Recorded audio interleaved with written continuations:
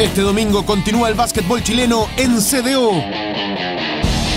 El cuadro de TSF enfrenta a Sportiva Italiana de Valparaíso en el marco de la Directibilip Centro by Spalding 2016.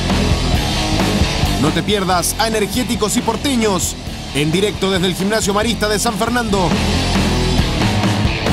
Pavés por tres, Francisco. ¡Oh! El triple para TCF desde Pancho Pavés.